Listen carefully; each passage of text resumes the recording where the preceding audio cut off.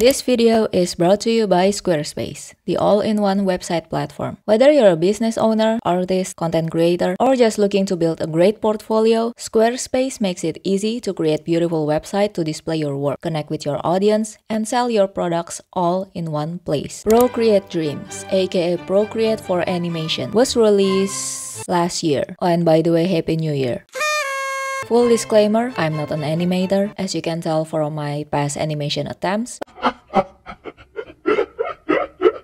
But I had fun doing it, so let's go. Looking at the previews, it looks really cool. There are a lot of sophisticated features and gestures, as they should have, since I already paid for this. There are some animation samples that we can go through. This one looks pretty cool. Wow, okay, the movement is so smooth. That is so beautiful.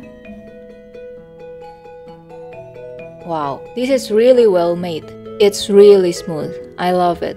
Okay, let's try it out ourselves. There are some options you can choose from. Is this all 4K? Yeah, it's all 4K. This one hurt my iPad, right? The default FPS is 24. I think that's the standard animation FPS, so I will just keep using 24. There are two options, draw and empty. I don't know what's the difference between these two, I'll just choose draw. So we can drag this down. I usually use Blackburn to draw in Procreate, but I don't know why this Blackburn is different from what I'm using. I'll be drawing Wriothesley from Genshin. I will first sketch his face with a neutral expression. Please lower your expectations because I am not capable of animating with this level of smoothness. But you know what I'm capable of? Creating this cool looking website for my artwork. As artists, we want to showcase our be it to sell merch, apply for work, or just to create a neat portfolio for our creation. But Fung, I cannot make a website. Well, me neither, but Squarespace is about to change your mind. Creating your own website in Squarespace is super easy. They have a lot of templates to choose from, depending on your needs. Their templates are really aesthetic and completely customizable. Just pick the one you like, drag your works, add some description, and done. It took like what? 2 minutes. You can also modify the placement, add buttons, links, videos, what have you, simply by drag and drop. Super easy. If you're planning to sell your works, Squarespace has this feature that tracks everything from inventory, orders, invoices, and even analytics for both your website engagement and sales. But what I think is really cool is that they have this print on demand service powered by Printful, so it saves time for production. I'm planning on releasing merch in the future. I still don't know when or what I'm gonna make, but I wanna try out Squarespace for it. Squarespace sounds great, but wait, there is more. If you use the link squarespace.com slash fungzau, you get 10% off your first website or domain. Remember, use the link squarespace.com slash fungzau, 10% off. Thank you so much Squarespace for sponsoring this video. From my experience animating in Ibis Paint, it's easier to sketch the whole movement first. I will animate his facial expression and maybe some blinking animation. I find it easier to draw the keyframes first. Keyframe is the starting and ending point in animation and filmmaking. So I will draw the keyframes and afterwards I will draw the frames in between so the transition is smoother. Okay, so apparently you cannot change the sequence in the flipbook. You have to go back to the animation interface and move the frames around. Why every time I move the frames around, there's always this hole in the middle? Also, there is no selection tool and also Liquify in the Draw and Paint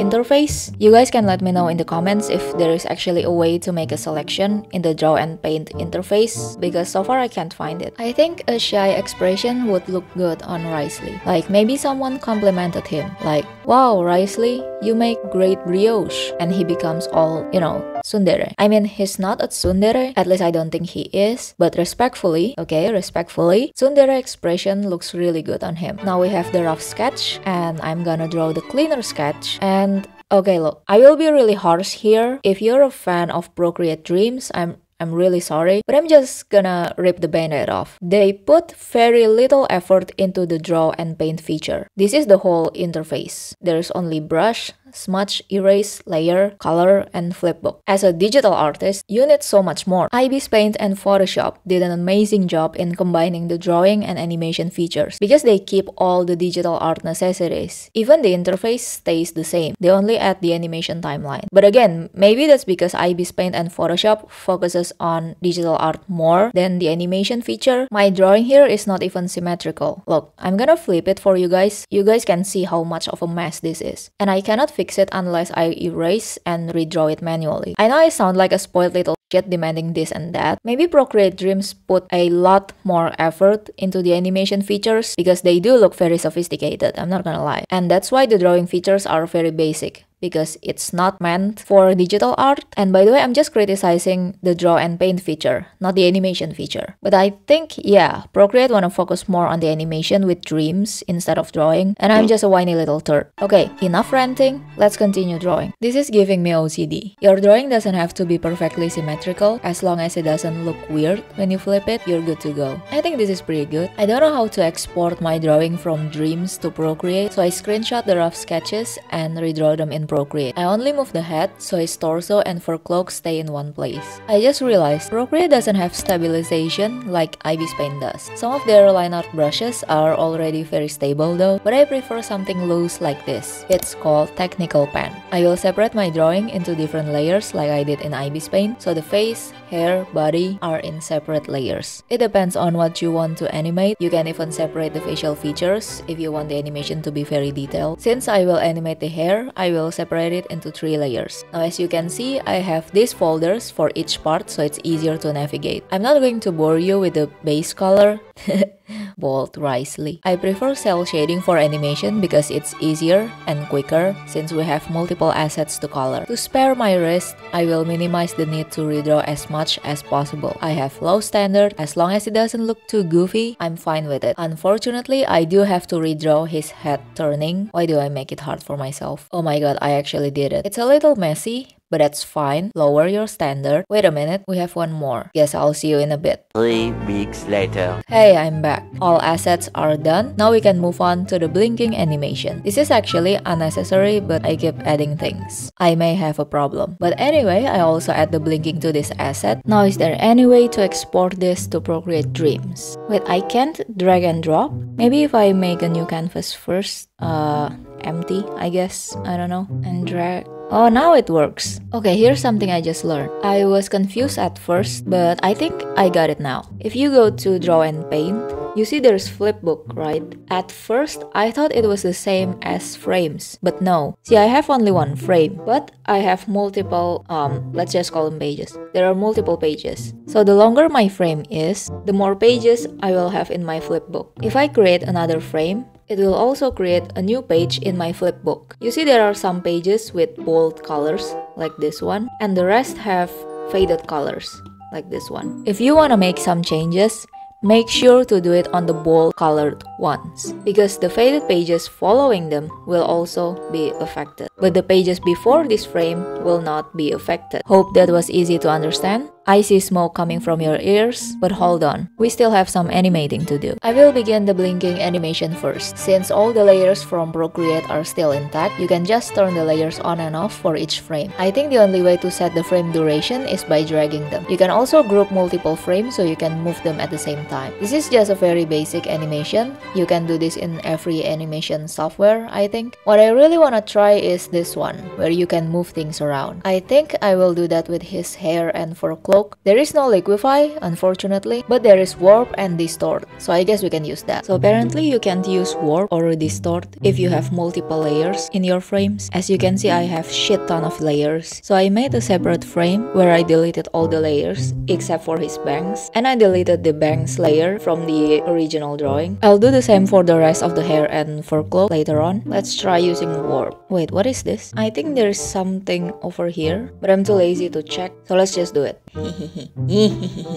oh my god. Okay, listen. I've been tackling this problem for almost 20 minutes. You guys might encounter this problem as well when you're using dream dreams. Such a stupid, stupid name. Sorry, that was uncalled for. Anyway, the problem I had was, okay, you see this frame? It consists only his ears. But for some reason, I cannot warp or distort it. Well, turns out you have to convert layers to tracks. And then it will create a group for some mother reason. But you can just open the group and then select the track and now you can warp or distort. You know what makes me really frustrated? I wasted almost 20 minutes just tackling on this problem. At least explain the reason. Like don't just say that you cannot distort this you cannot warp this. It's so annoying to not knowing the reason. Sorry for showing too many emotions. Diffuse diffuse. Now let's animate the it. I think we need to work fast here since my animation is only 7 seconds long and no exaggerated movements because it will mess up the shading. Make sure to check your layers too because the assets might be double. I'm trying to animate the ears, but I can't make it look natural for some reason. Ew, it's wiggling around like a caterpillar. Ugh. It's kinda hard to move around with only warp. I wish they had liquify in the future. I should fix the fur cloak because it has some holes in it. Now I mm-hmm. have to merge. Merge. Merge. Seriously, I cannot merge. You can't see me, but I'm pinching with my fingers to merge the layers, as I always do in Procreate. But these layers just won't merge. For the love of god, why? Okay, fine. I have to redraw it in a single layer, so now we can wiggle it around. There's Gaussian blur in here, which you can use to make a cool transition. But first, I will add a background so it doesn't look too empty. Okay, so judgment time. Is Procreate Dreams worth it? For me, yeah, no.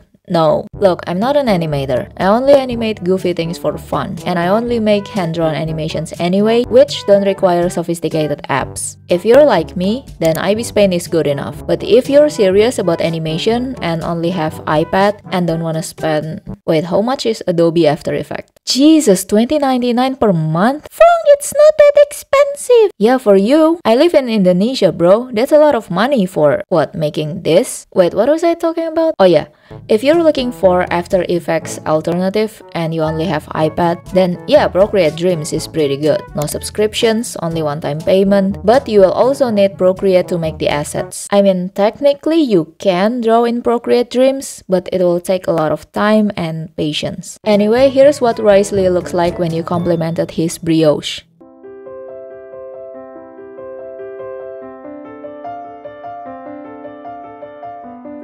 Yeah, I'm pretty disappointed in myself too. I'm sure many people can create beautiful animations with Procreate Dreams, I'm just not one of them. I do hope they'll update the features in the future though. That's about it, see ya!